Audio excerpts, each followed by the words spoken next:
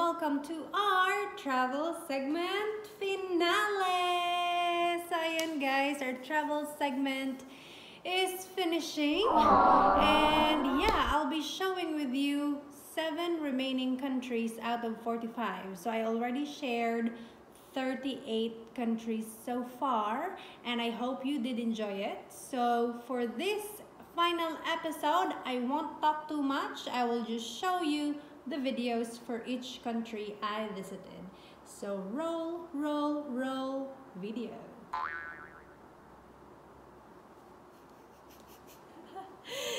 In one, two, three,